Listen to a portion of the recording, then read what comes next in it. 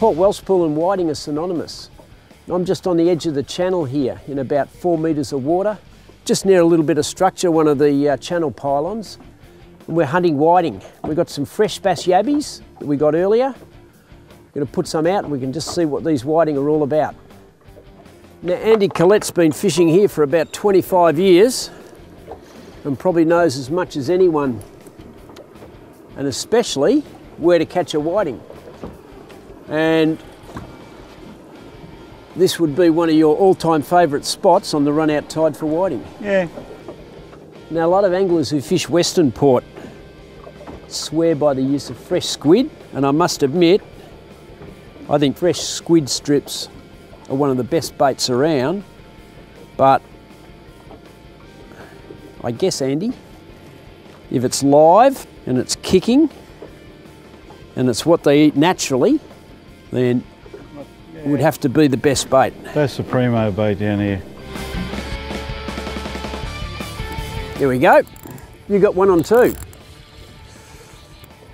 Well, that bass yabby was not out there for very long at all. You got a good fish, Andy? Yeah, not too bad. That's good. Oh, we've got on the other rod as well. Nice whiting. Look at that guy, hey? How's that, mate? That's what we're after. That's not a bad fish, that one. Whoops, and that's why they call them flappers. And we've got another one on here. You've got one there too, have you, mate? Yeah. Well, we'll get this one under control. Just as that tide turned, Yeah. three fish, they've just come on. Look at this guy.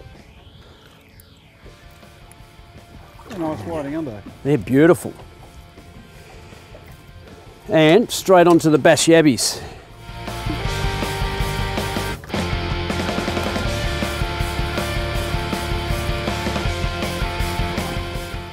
Good size? Yeah. Yeah. A bit of a lottery when you put your hand in a bucket of bass yabbies and you come up with something like that. the way that you hook them, you need a long shank hook. And my favourite is the mustad bloodworm. It's a classic long shank with a chemically sharpened point and of course that whiting friendly red colour. And sizes 4 to 6 are ideal for Welshpool whiting. Feed it in just at the end of the tail and just work that hook. We can just get it around. There we go.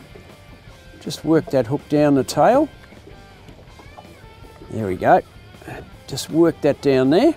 Now, as you can see here, the 90234 or bloodworm has no bait holder slices on the shank. So it is important to half hitch the nipper tail to hold the bait on the hook correctly. For those who like a bait holder style, try the long bait holder. It's a must-have hook, stainless steel, super sharp, and it's got the same shaft length as the bloodworm. And lastly, if you're getting shy bites, you might need to go down to a fine gauge hook. Something like the mustad fine worm is just ideal. And there you have it. Have a look at that, Andy. One of the best whiting baits you're likely to get.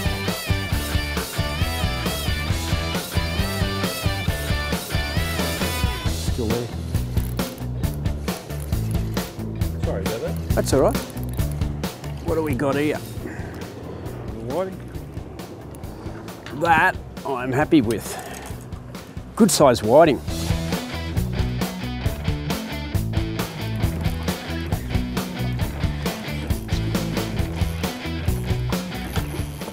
Mate, they're thick and fast now and getting a little bit bigger. They certainly like those live bass yabbies, Got him. He's a little bit better. isn't he? I'd say probably 37. Yeah. Good stuff. Live bass yabbies. Three hours of pumping, well spent. Now the sort of rig you use for whiting in a fast flowing tidal environment, I just use a simple paternoster. And for whiting, just get this out of the way here. What that allows you to do is just change your sinker as the tide makes and falls away. And the run out tide's just really starting to pump now. And this sinker that I've got on, even though it's fairly heavy, about two ounces, still not holding the bottom, so I'm going to go up to three. And when I say simple paternoster, just a short loop to your sinker, and then about a metre dropper to your hook. Eight pound lines, perfect. Monofilament is probably all you need, it's all I use. Nice tough sort of a line. And that's how simple it is, change up from a two ounce to a three ounce as the tide picks up. We just pop the loop through there. Over there, sinker's changed, ready to go again.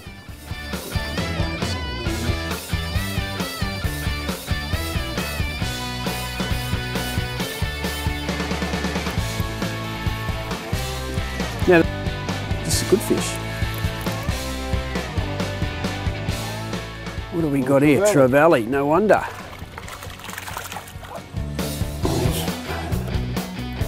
And go just every bit as hard as a King George Whiting.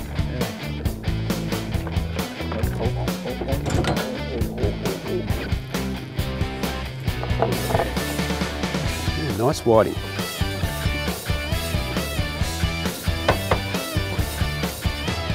Just look at that guy. What a cracker. He's a good fella. Hey, Much better. Yeah. Yeah, well, You can have him to unhook, mate. There you go. well. Now the tackle I'm using for whiting is just quite simple. It's my finesse spin sticks, uh, light to medium, about a three to five kilo rod, seven foot eight long, just an eight pound short paternoster with a long leader. Perfect, and you'll get all the whiting you need in a place like Port Welshpool. Fish, and hope.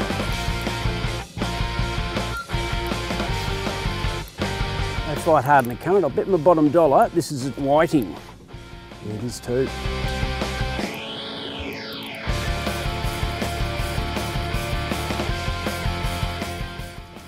nice whiting. Nice whiting, Andy. And that's really interesting. One rod, I've got a two ounce sinker on. This one a three, Yeah. And the other rod just haven't take, had, haven't had a bite. It's just not getting down the bottom. So as the tide's picked up, it's just pulled that, even though it's a lighter outfit, it's just pulled it up off the bottom, and let's see if we can get a few more. yeah.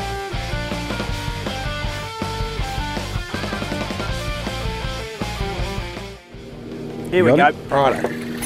Oh, got him. Well, that's a good way to end the day, mate. Double hook up. And if we're not smart about it, it'll probably be a quadruple hook up. Yeah. They're hot now, don't they like these bash yabbies? Unbelievable. Look at that. He's a Yeah, ripper. and another one here. Hey. Well, what a session. Port Welshpool, King George Whiting. We've got a bag full of them down here. We're going to knock it up. We've had a great time. Bash yappies, Whoop. nothing better. and slimy King George Whiting. Well, Good on you, mate. That's a cracker, that one too. That's Yeah. well up near 38. But a great session, and thanks for the trip. Uh, anytime. And to keep up to date with everything the Fishing Show crew is up to, including our latest competitions and prize giveaways, head over to our Facebook page, AFN The Fishing Show. And if you're keen for content, AFN TV is now free to join with over a thousand videos at your fingertips, plus tip and tactics from Bill and myself.